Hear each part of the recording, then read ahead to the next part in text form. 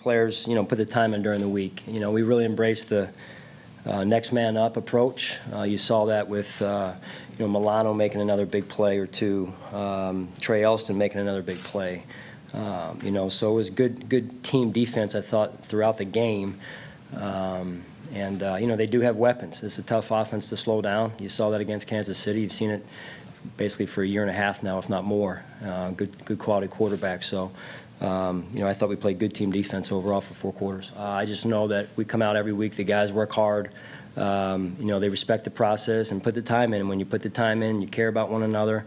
Uh, you detail your work. Um, you give yourself a chance, and, and that's what the whole earning the right, earning the right.